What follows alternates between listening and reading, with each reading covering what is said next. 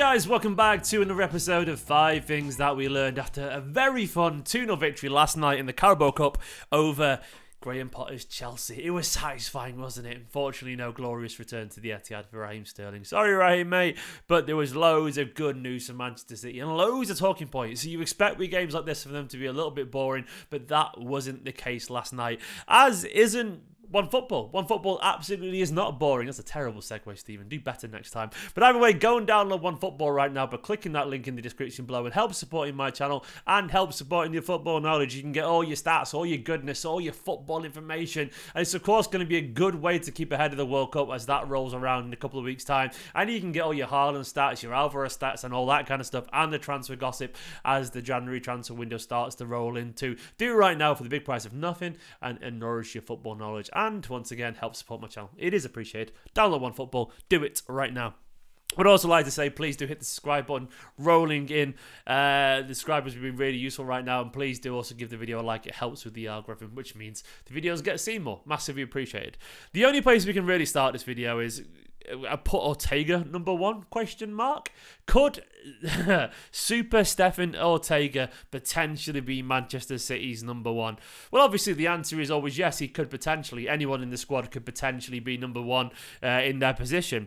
Is it going to happen? Probably not. Not because he doesn't maybe potentially deserve it, just simply because it takes an awful lot to go wrong for him to be number one. But I want to talk about his quality, and I think last night was one of the finest goalkeeping displays, well, pure goalkeeping displays in terms of shot stopping that I'd seen at the Etihad for an awful long time. People were comparing it to Joe Hart against Dortmund those many years ago, and Honestly, I got it. Some of the saves that he was making last night, I'll whisper it quietly, and I, I, I mean this with as much love as possible. Ederson might have not made them. He might not have, honestly, and that's not me trying to be harsh. He's just talking about what strengths each keeper has, and Ortega is known as an excellent shot stopper, and there's an awful lot of value of that, especially in games like this, in cup competitions where things are a little bit more frantic. And um, does that potentially mean that you could get in ahead of Ederson? Well, no. Look, I don't think Guardiola is going to give up on Ederson anytime soon. We know what Guardiola values in a goalkeeper. We know that Guardiola absolutely values Ederson's freakishly good uh, ball playing abilities and that composure and that consistency that he's had over the years. Guardiola is the kind of person who'll be loyal to players that have done him good, and he's not going to abandon him just like that. And as he shouldn't really, he shouldn't do. There's a lot to be said for consistency, and you don't just drop a goalkeeper He's not really made any big clangers recently. He hasn't. Maybe the odd goal where you, goal where you go, could he done a little bit better than there? But not genuine massive mistakes. It's disingenuous to say that. He's not going to drop a keeper. He's been number one for years just because one backup keeper has a great game. He isn't. I know some people want him to, but he's not. Let's be realistic. But Ortega did show last night that if Ederson doesn't up his game and you know and starts to make a few mistakes or gets an injury, Ortega is very capable of stepping in uh, and claiming that number that, that number one shirt hypothetically. He really is because he's a fantastic goalkeeper and the quality of some of that shot stops last night. Shot stops, his shot stopping. Um, it was remarkably good, honestly. And we know he's good with his feet. Some of his passing was really good too. Like, honestly, that is a quality keeper. And yet again, another fantastic piece of business from Txiki and Co. A free transfer. Like, what a player we've got here. And what a keeper. And someone who's definitely, definitely going to bring out the best in Ederson, if not push him all the way and try and claim that shirt himself. Um, also, as last night, I just put a new Jack. Last night, it felt like a new Jack Grealish. It felt absolutely wonderful to witness Jack Grealish find his best form. And Guardiola talked about it last night. I'm going to try and find the quotes, but I'll talk about how I did a thread on Twitter. You might have seen it a couple of days ago where I talked about Grealish maybe sometimes being a little bit deferential to his teammates. It often felt like to me when I watched Jack Grealish play football, he was sort of pretending to be a Manchester City player. It's like he'd watched a billion Manchester City clips and gone, Guardiola likes to recycle the ball and keep it and all this kind of stuff and be really cautious and just keep the ball, keep it moving. It was like he was cosplaying as a Manchester City player, but not actually being Jack Grealish himself. And Jack Grealish got this move to Manchester City because he was so exciting, uh, running at people and being direct and trying to force things. And last night he did that. Now, of course, there was a caveat he was aided an awful lot uh, by an overlapping fullback. Um, Sergio Gomez played out wide, not inverted, which definitely helped Jack Grealish cut inside and occupy a very different space to what he does usually at Manchester City, and more like the space that he occupied uh, when he was at Aston Villa. And he massively benefited from it. He was so, so aggressive, running at people. And Guardiola did point that out. Um, he said, uh, this is what he said about Grealish. Today was the best that Jack has Jack has done in all the time when he gets the ball or moves inside. He attacks the back line. Always his intention is to pass, and we spoke many times. No, no, no. The first intention is to score a goal. He, he said, Guardiola, it's always to go there, and he's not a real threat for the back four because his body language is, I'm going to pass the ball. Today, the body language is, I'm going to score a goal. And after that, shoot or pass. Today was three or four times that he did it, and this is what we wanted. He didn't score, but he had, a, he had chances, and one day he will. He was exceptional. And that's it. Basically, he played like Jack Grealish and not Jack Grealish trying to learn how to play for Manchester City. I do think it's a mental thing with Grealish. I do think it is slightly positional, but I do think that desire uh, to run at people uh, and be himself made a difference yesterday. Fingers crossed we see an awful lot more of it. And fingers crossed we see an awful lot more of Julian Alvarez, man. Yet again, yet again. Uh, I did the maths last night and worked out his stats and so on, and like it's it's it's remarkable how good he is at the moment. Like I'll just quickly find him again, but he's having such a wonderful start to life at Manchester City.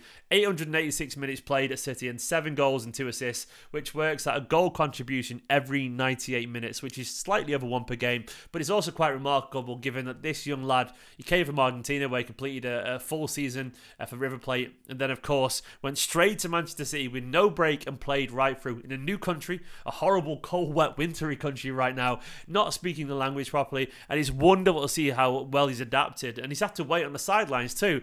But yet again, last night, um, a moment of brilliance. It wasn't the finish that was so exciting, it was that first time diagonal ball, Harry Kane esque actually. How many centre forwards can make the pass, by the way? Not many.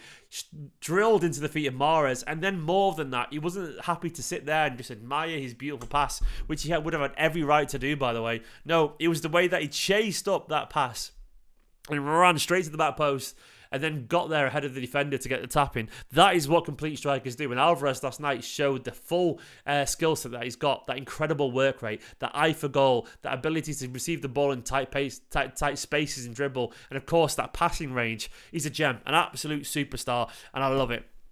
The fourth thing I want to talk about is how the kids just fit in, man. Like Cole Palmer and Rico Lewis, I'm not saying either of them last night had a superstar game. In fact, they both just kind of had like six out of ten performances for me.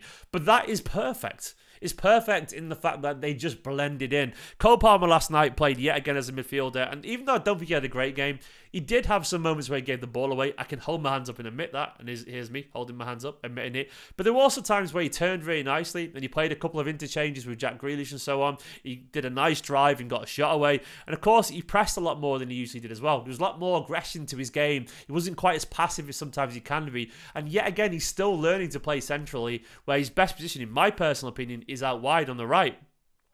Yet he still had a decent game and he blended in and he suited it. And Rico Lewis was the same. I think Rico was a little bit quieter in the first half, but the second half he was much better. He did get beat a couple of times by Lewis Hall in particular, and he did show the odd bit of naivety defensively, but he also showed just how good he is on the ball, and he also showed that he doesn't really cost the team at all if he's there. And that is the highest compliment I can pay pay Cole Palmer and Rico Lewis. They just look like squad players, man. They look like squad players who absolutely deserve to be at Manchester City. And if either Rico Lewis or Cole Palmer had to start in the first team in the Premier League game, surrounded by senior players, they wouldn't let us down. They wouldn't be this really obvious weak link. They are clearly good enough to at least, very least, blend in and be suitable and competent for this Manchester City team, which is all they need to be right now as they learn their trade. It's impressive that these young players are just good enough to fit in at Manchester City. Not be superstars yet, but they don't have to be. They're learning, and that to me is really, really exciting. Give them a little bit of time, you know, and before we know it, they'll be superstars in their own right. And the Manchester lads, it's perfect. Finally, we really do need Kalvin Phillips, and it was so nice to see him back on the pitch. Obviously, it looks like he's going to the World Cup. Has he gone to the World Cup? Has it been announced? Maybe it has as recording this. I can't remember. But either way, Kalvin Phillips, I'm delighted. He has actually. I'm delighted for him that he's back on the pitch because Rodri in that first half was blowing out his ass. Rodri was tired, man. He was absolutely exhausted. And Kalvin showed what he can bring to this Manchester City team. Tenacious, uh, a wonderful diagonal passer. Uh, of course, a little bit rusty here and there, but we need him because he feels like we've got replacements for everyone in midfield, be Gundogan or De Bruyne or Bernardo. We can mix and match them, but we've not really been yet been able to rest Rodri necessarily without you know, having to put Gundogan there instead. But Kalvin Phillips being back would be absolutely huge for City, and he is. And obviously, he's got so much quality and really likable, a really likable player. I do think Phillips could add an awful lot to this team, and his general um, aura and his general uh, eagerness to learn could be massive for this Manchester City side. We are going to need every single player in the second half of this season if we want to complete our objectives and try and win a few trophies. And Kalvin Phillips could be a big part of that. It isn't just there to challenge Rodri, as Guardiola apparently told Kalvin himself. He's there to challenge all the midfielders, and I think that's really obvious. Um, that given this running, he's going to be needed. So good to see him back on the pitch. They are five things I took from the game. Guys, do let me know down in the comments what you made of Ortega. Can he be Ederson's new rival? You know, can he push him out? Uh, Jack Grealish, excellent in my opinion. Alvarez, of course, Palmer, Lewis starring, not starring, well, fitting in at least, and Phillips back. They what I took from it. Thanks to the patrons. Thanks to the people for downloading One Football. And if you haven't, do it right now. Watch a match reaction, and there'll be more and more content coming. As you can see, the colour's coming back in my face now. I'm becoming a human being again. I'm still knackered, but we're getting used to this parenting thing. And uh, uh, hopefully, uh, there'll be more videos. Thanks for watching. Thanks for being a superstar, and I'll catch you all very, very soon. In a bit, subscribe. Bye bye.